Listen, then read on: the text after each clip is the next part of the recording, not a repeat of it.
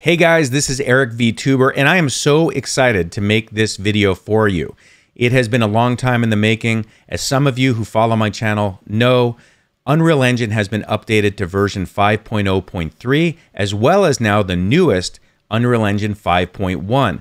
But they've also been making many updates to the MetaHuman creator, and as they have made those updates, the workflow for adding your MetaHuman into a game has changed dramatically. And this video will walk you through exactly how to take a metahuman and bring it into a third person game type project so you can use that to move around as well as motion capture like you see here.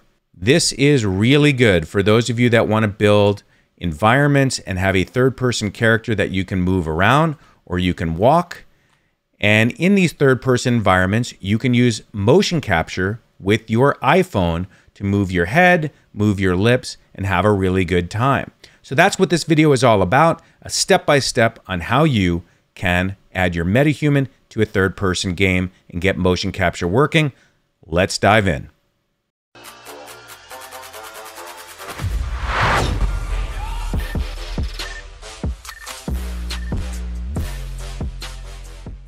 First thing, let's take a look at. If you want to create a metahuman, you go to metahuman.unrealengine.com. I've made other videos on how to do that, so I'm just going to dive in and show you my newest metahuman. This can take a little bit of time depending on your internet speed and computer, but as you can see, once you get past the first screen, it will start loading the MetaHuman Creator tool. Now that we are logged in, you can see I have three different metahumans. The first one was the first version of Eric, and then I have a newer version. And in this newer version, when I select it, if you'll notice up in the top right of my screen, it says MetaHuman 1.2.3. And it's those of you that are making more recent metahumans or doing updates to metahumans that you need to change the workflow for importing this metahuman into your project and using it in the third person character along with motion capture. This other metahuman that I have right here is the one that I use specifically for my Iron Man uh, model and that is I just needed to make him shorter with no hair and a smaller head because of the size of my mesh for Iron Man. And if you want to see those videos, you can find them on my channel. So this metahuman right here, the new one, is the one that I want to bring in. And I just click on Edit Selected if I want to make any final changes to it. But do note this is Eric AI3. Once I'm done creating my metahuman, and you can watch my other videos on how to do that, it's time to bring that metahuman into your project. So I'm going to launch my Unreal Engine 503 instead of 5.1. So when I launch the engine, I am opening up my project. And this is the project that I want to bring my MetaHuman into. I imagine you're one of two types of people. You either have an existing project like I do that you want to bring your MetaHuman into, or you want to build a completely new project from scratch. If you go to File and you click on New Project, the project type to pick for this would be a game type using the third person template. Leave all these settings defaulted like this as blueprint, desktop, maximum, and the starter content, and give your project a name. In this particular case, I'm going to use an existing project, which is this one right here, and just assume for a moment that I did not have a MetaHumans folder. I've already done this workflow, and that's why it is here, but for you, you probably don't already have a MetaHumans folder.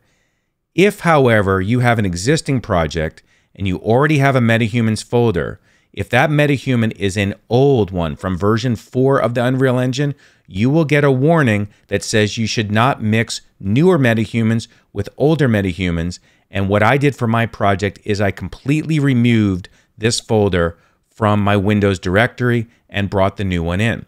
Well, how do I do that? How do I bring in a new one? Go up to the window menu and go to Quixel Bridge. And just like we saw when we were online through the browser, you will go to your MetaHumans area from within the Unreal Engine application. And you should see a folder called My MetaHumans. If you don't see this folder, you need to go up here to the top right and make sure that you log in with your credentials. Once you're logged in, you should see, as I do, the three MetaHumans that you created online. This was my first one, and this is the most recent. So for those of you that want to bring in the most recent version of your MetaHuman, you will click on it, and then down here, I choose medium quality, that's sufficient, and then I will click this button to either download or update. I already have it, so I'm not going to, But here's the last thing I want to tell you before we start the workflow. When you click generate or download, it could take as long as 20 or 30 minutes and just be patient. When that is all done, you'll then click the add button and that will add this MetaHuman to your project. If for some reason when you click add, it doesn't come in, just close this window, reopen it again, go into the Quixel bridge, go back to your MetaHumans, click on My MetaHumans once you're logged in, get to the right one, and then click add, and it should work. For some reason, there's like a small bug where sometimes the add button does not do it. Once you click add, you will get some messages that you need to enable some plugins, quite likely. You will need to restart your browser and you will have to update your shaders. And that could take as long as 15 minutes. So just be patient. And when you're all done, you'll be right here like this with a MetaHumans folder all ready to go. All right, all the shaders are done. And now I've got my MetaHumans folder with my new updated MetaHuman. And this is Eric AI 3.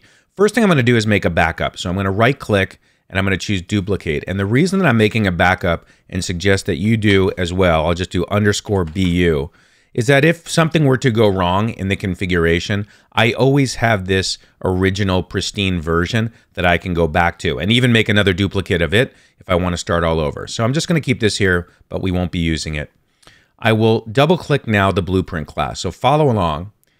And once we open up the MetaHuman, there are some settings that we need to change. And this could seem overwhelming at first, but trust me, I will walk you guys through step by step on how to replace the mannequin with your metahuman character.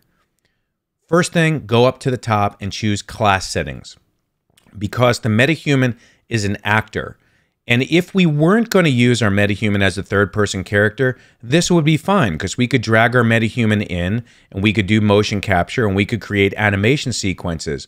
But the specific workflow that I'm showing you is so that I can replace the default third person mannequin with my metahuman. And to do that, I need to change this from actor, type in BP. You can type BP third, to spell it wrong, not like I did. Um, and you'll see BP underscore third person character. And there you go. And that will change the third person character as the class settings type.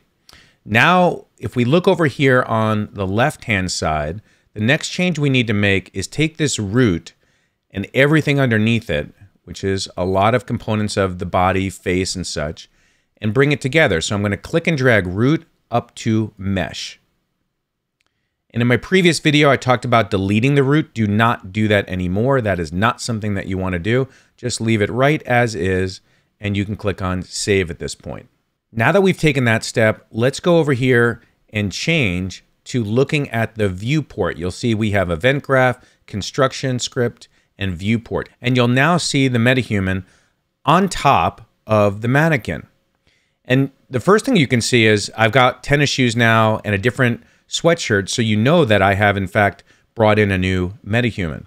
Now, if you notice here over on the right-hand side, the location and rotation 89 and 90 is incorrect, and that's why we look the way we do. So right over to the right, you'll see a little reset arrow, and just click that, and that will drop your metahuman down closer to in line with the mannequin. All right?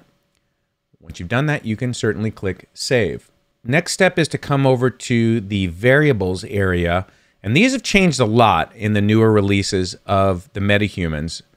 So when you choose the use live retarget mode, you'll notice on the right now we have an option to use live retarget mode and it's not checked. So I want you to check that and activate that. And what you'll notice now is that the body has moved into position and your body also is moving. If I zoom in, you'll notice that my hands are moving with the mannequin. If I turn that on or off, it makes that change. So you know you're in the right place when you see that and you can click on compile up in the top left and click on save again. All right, next step, we are getting very, very close. Click on mesh in the over in the left hand side. Make sure that everything is there because that's selecting all these pieces. And we want to type VIS for visible. And what you'll see under rendering where it says the word visible is checked. We want to uncheck that. And when we uncheck that, that is removing the third person mannequin. Now, some of you that are professional game developers, at this point, you might think, you know, Eric, this is a hack. This is a cheat, the way that you're setting it up. And I'll I'll fully own that. This this workflow is really good for VTubers. It's really good for people that are creating animation sequences. If you're a professional game developer, then you're probably creating a blueprint for your third person from scratch. Whereas what we are doing is taking the mannequin and replacing the mannequin with our metahuman. All right. Now come down. You'll see down here it says visibility based anim tick option. Change that to the first one. Always tick pose and refresh bones. Always tick pose and refresh bones. Make that change as well. Click on compile in the top left and click on save. You can close that completely. And the next thing we need to do is change under the game mode which third person character we're going to use. So scroll on your left hand side in your project. If you followed along uh, my other videos, you've created a project that uses the third person uh, template. And inside of this, you'll find a blueprints folder. And inside that, you'll find this little controller inside a monitor, and that is the third person game mode. So double click that, open it up. And what you're doing here is you're looking where it says default pawn class coming across, and now you're going to change to your metahuman, and you should see the metahuman's name here. If for some reason you didn't, that's because in the first step where we change the class settings, to be a third person character. That's what made this option available here. Uh, and by changing the class and by changing the pawn class to be Eric, once I click compile in the top left and save and close this, if everything went as planned, when I click play, Eric is now going to show up as my third person character. And he did. And I not only can see the sweatshirt, the sneakers to know I've got the right one, but if I now move my keys, he works. And this again is the workflow for version 5.0.3 of the Unreal Engine. And you need to see my other video if you're using Unreal Engine 5.1, because there's a good chance that he won't move if you are using Unreal Engine 5.1. This works for 5.0.3.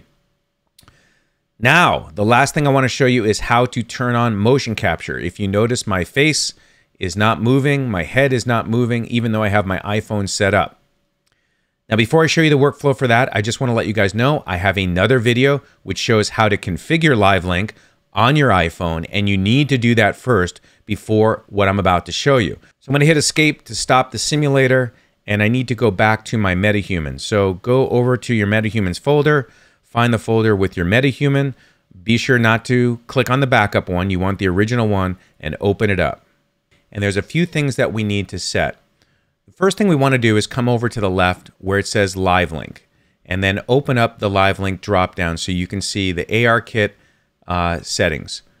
Click on the very first one and over on your right, if you have your iPhone with Live Link running and properly configured, when you click this drop down, you should see your iPhone. If that is not showing, make sure Live Link is running on your phone. And if you haven't gone through my live link tutorial, be sure to watch that one. With that checked, go ahead down to the next one where it says use ARKit face and choose that one. And now check the box over here on the right that says to use the ARKit face. Activate that, go up to the top left, click on compile, and click on Save. Next thing to do is go over to where it says Face on the left-hand side. So you're selecting the face object of your 3D character. And you'll notice now on the right, there is a skeletal mesh right here. It has a little picture of probably a head and body. And this is the new workflow. This is what was required for the newer metahumans, uh, and I believe the upgrade to 5.0.3, but for sure needed for the new metahuman blueprints. What you want to do is double click and you will get this funny looking facial piece right here with all the different bones. And what you need to do is go up to the very top right. It looks like an org chart. It's the facial animation blueprint and click on that. And once you click on that, you can see there's a blueprint for handling the facial animations. So now that you're right here, what you want to do is look over here on the right where it says Live Link Face Subject, and you probably see something that says like black iPhone. I think that's the default value. But whatever you see there, doesn't matter. I want to make sure you have chosen your iPhone. Okay, and you got to choose that. And that was the difference in the workflow from the newer metahumans and the older ones was to go into this facial area and do that. And you can actually see my face is kind of moving here on the left. So the last step is if you notice it says live link face head, when I activate that, now my head is moving. If I deactivate that, the head doesn't move. And if I activate that, my head is now moving. So we are so close, you guys. When I click save and compile as you should do, and then I close the window and I start the simulator, lo and behold, my head is moving, my face is moving, and everything is working great. And in my other videos, I have set up some scenes that enable me to move around like this and get cameras right in the right place. You can see my iPhone's not pointing exactly where I need to be, so I can move my phone a little bit, get my eyes to look at you guys a little bit better like that, make some good eye contact. And we have completed the workflow. That's it, you guys. That is how to set up your MetaHuman as your third person character and activate motion capture for your face and your mouth. Woo! Great job. In my next video, I will show you guys how to do this for Unreal Engine 5.1. And as I said in the beginning of the video, don't forget to look in the description for any updates that may occur as Epic Games is constantly changing the MetaHuman workflow. But that's going to do it for this video. If you learned something or enjoyed the video, it would mean a lot to me if you just click on that like button, maybe drop a comment, and certainly, if you feel you want to, subscribe to the channel. All right, you guys, we'll catch you guys on the next episode. And don't forget to look at these videos right here at the end that I have carefully selected for you that might be helpful on your journey.